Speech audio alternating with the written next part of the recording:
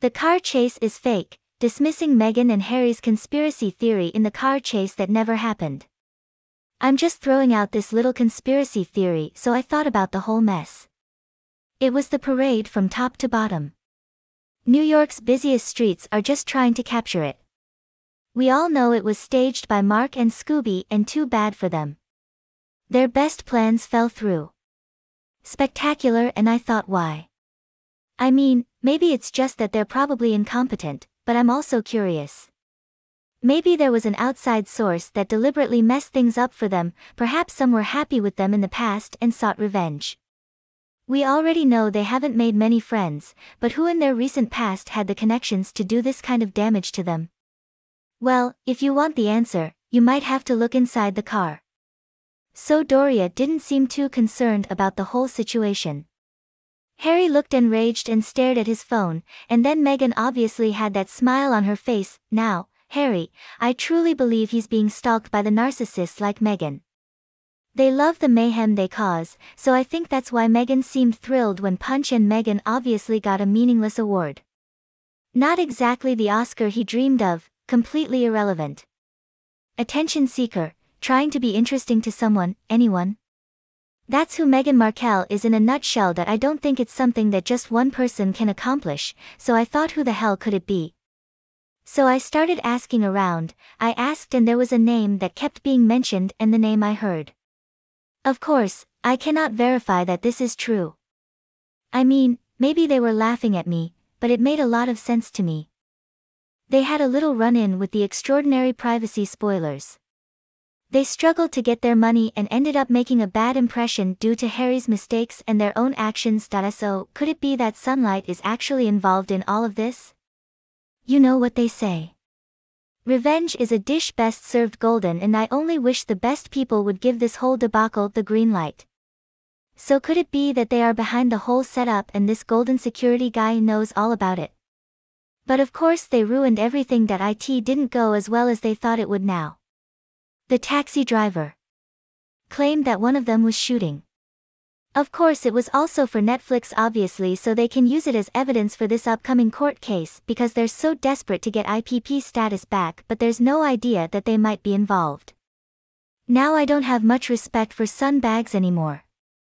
I mean, they played a part in this whole mess from the start that I in fact, I probably shouldn't even insult them in case they come up to me and claim I insulted them, unless of course they want to admit that they really played a part in this.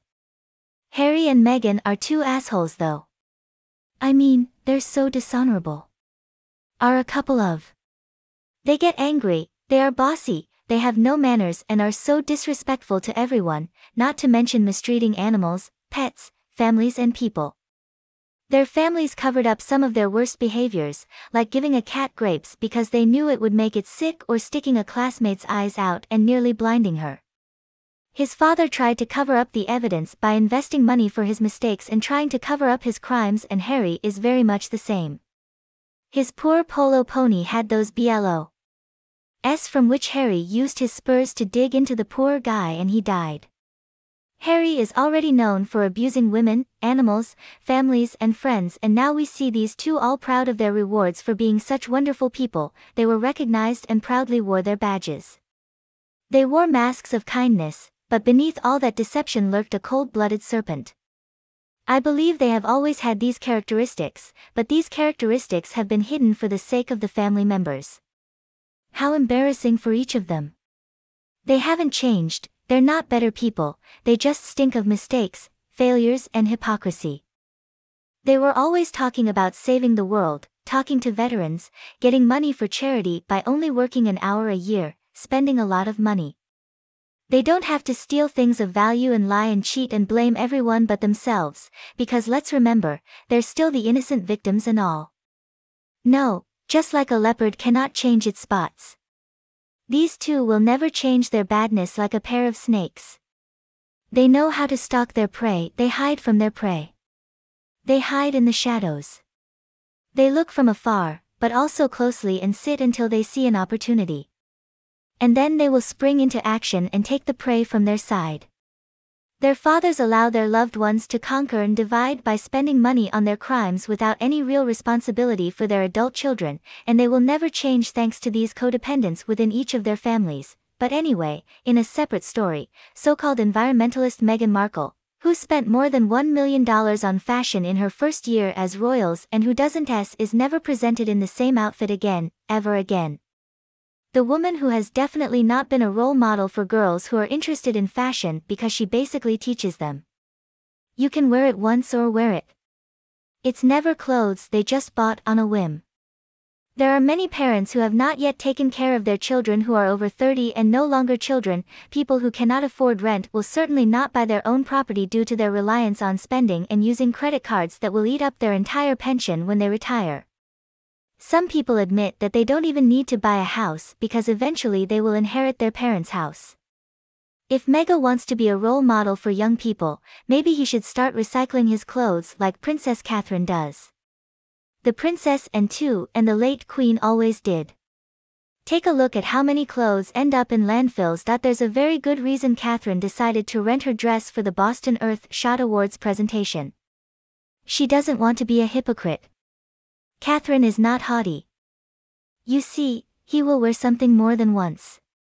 People need to learn to shop less and appreciate the clothes they make and let's remember, the new is not always the best, in fact the best. Question probably the one you've had the longest. It's true that they don't make clothes like they used to. I recently pulled out a 10-year-old tailored jacket and remember buying it at a fashion chain for $25. Originally there were 50.so, I bought one of each color to wear as a work jacket they are satin they are really cute and you know if I were to buy it today I'm sure it would be around 150 bucks or less now when it comes to Meghan and Catherine. The two couldn't be more different, even their body types are incredibly different. Catherine is slim and beautiful and looks great in everything. She has a great sense of fashion and it suits her well.